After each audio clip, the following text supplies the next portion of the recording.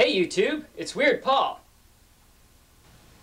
It's time once again for my monthly thrift store score video, and today we'll take a look at my thrift store haul from June of 2019.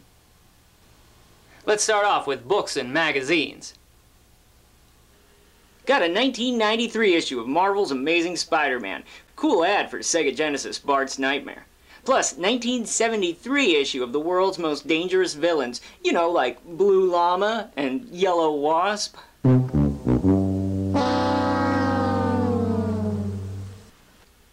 Pretty happy to find this book, Akadaka Maximum Rock and Roll. Excellent! Here's a crazy find, the 1996 Service Merchandising Catalog.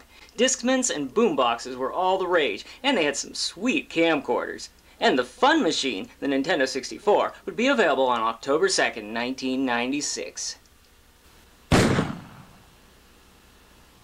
Time to move on to the category of miscellaneous. Got two more Pez dispensers, Wonder Woman and Gonzo. This evening, I will perform a feat of lunatic daring. Got a bunch of swizzle sticks from around Pittsburgh and Las Vegas, even one from Cedar Point. I got a bunch of cool Japanese erasers, a couple Umemon ones, and these ones are my favorite. And I got this Jumbo Domo pen, writes in six colors.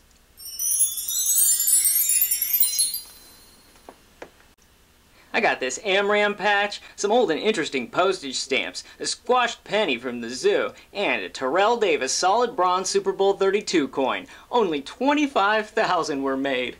That's rare.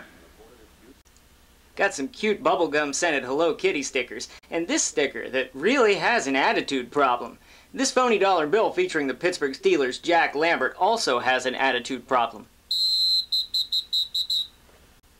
Believe it or not, I was thrilled to find this bicentennial napkin. I was five then, but still old enough to remember it. And I got this card that encourages you to dry your clothes with gas. I got a vintage Walt Disney World photo foldout and a few cool postcards. Hey honey, wanna hear something funny? Last night you got my hair growth formula mixed up with your face cream.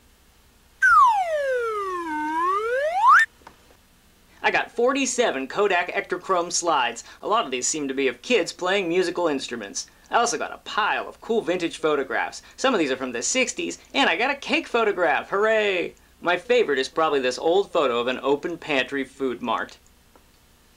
New Christmas ornaments. I got this crazy cosplay Santa Claus, a mid-flight Superman, and a leg lamp. You'll shoot your eye out, kid. And after Christmas comes New Year's. Chinese New Year in this case. From La Choy, it's a huge inflatable snake. Never even opened. Another giveaway was this Metrics Made Easy slider. It was a free gift sometime in the distant past from Spencer Gifts, where I currently work. And I got a tiny SeaWorld plate, a tin full of Zelda mints, and a super handy small cassette recorder. I'll carry this around with me and record all my song ideas into it. If they think it, then you drink it. Wow, the movie ad newspaper section from August 1981. In my opinion, one of the greatest times for movies. Plus some Ponderosa coupons, a battle of the bands at Hardee's featuring Henway versus Bo Sloan, and at the Friendship Inn, you could see Exotic Dancer.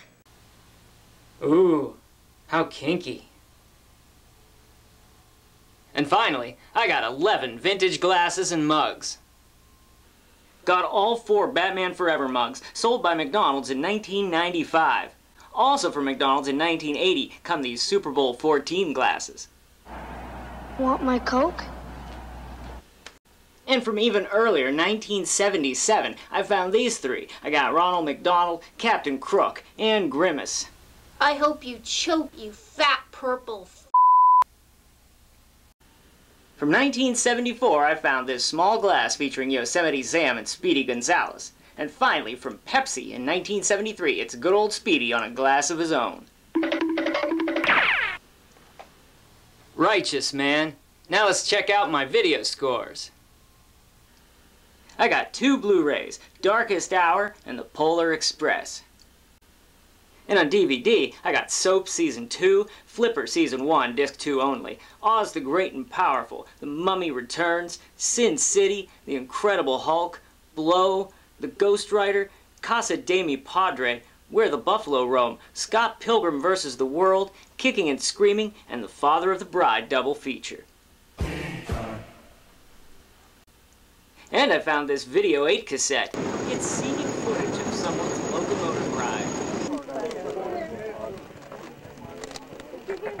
It is. It's just the highest one you see right straight out in front of us. But then when you consider the population isn't that great. Time to move on from video to audio.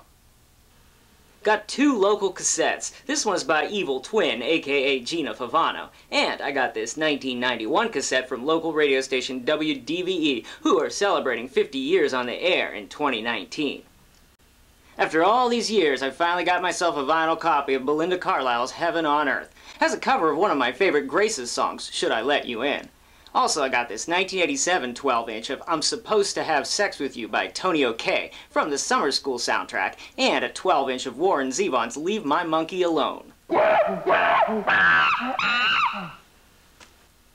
Got Picture Sleeve 45s by Madonna, Dennis DeYoung, Peter Cetera, Jermaine Stewart, Bon Jovi, Luther Vandross, Lesley Gore, the Dave Clark Five, Mike and the Mechanics, and Starship. and records by the Pointer Sisters, Van Halen, and Bruce Willis. An old Orange Mickey Mouse Club record, a probably unplayable Old MacDonald's Farm paper record, and this easy listening classic by Red Peters. Let's see. B space space space me, you hardly even know me. Ooh, how kinky. And I got 36 more CDs.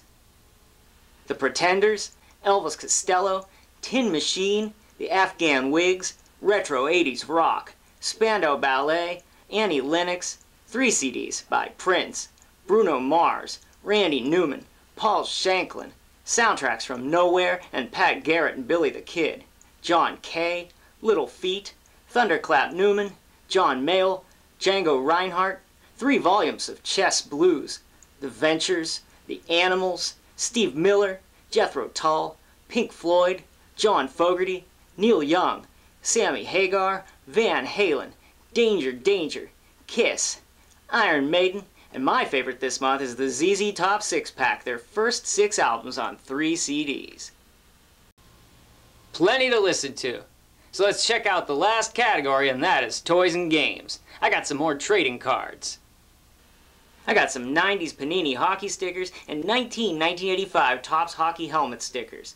A couple mascot cards, a 1990 Magic Johnson card, some strange 1991 NBA stay-in school cards from Skybox, and this equally odd Upper Deck Choice Reggie White card.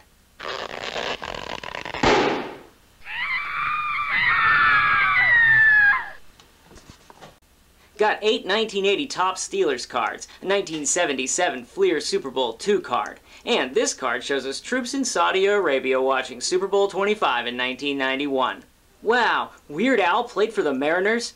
Ah, fooled me again, Pete lad.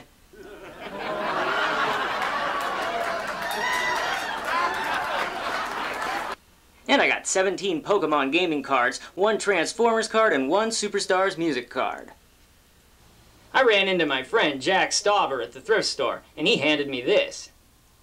It's a whole box of Country Classics trading cards from 1992. 19 sealed packs. Let's open a pack and see what we got.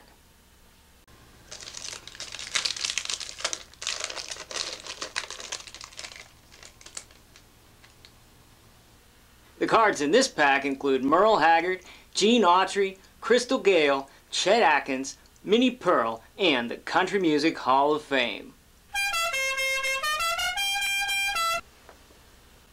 I also got one 1993 Batman sticker, this promo card for Bazooka's Smooth and Juicy Bubblegum, 10 National Geographic World cards, and 26 1978 Elvis cards. I got exactly one pack of these back when I was a kid.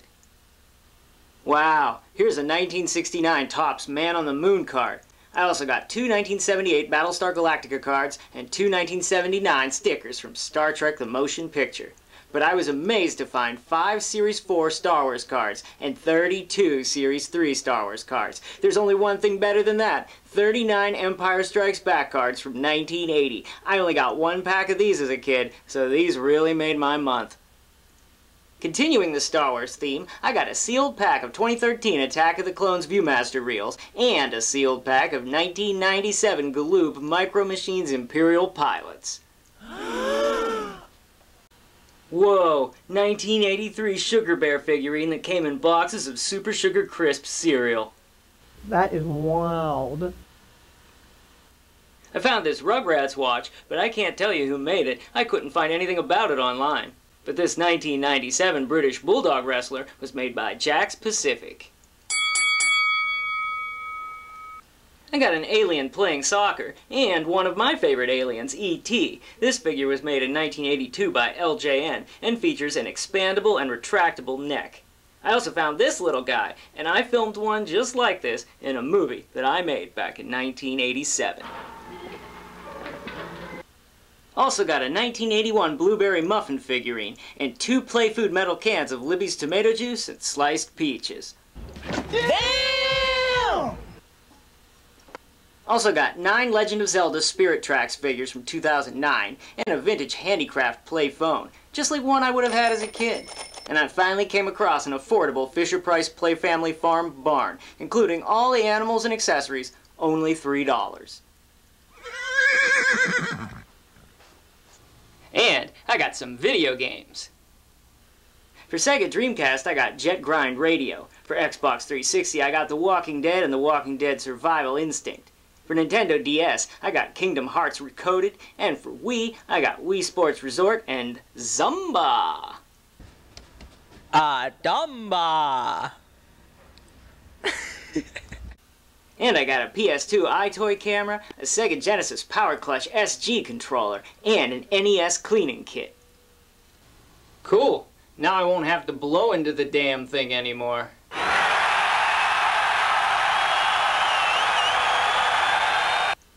And I got some sweet vintage Atari controllers. These arcade-style 500 XJ Epyx controllers were made by the Konix Company. And this video controller by the RGA International Company is something I saw in Electronic Games magazine back in 1983. I've always wanted one. And now it's time for the find of the month. Here it is, an Atari 7800 system.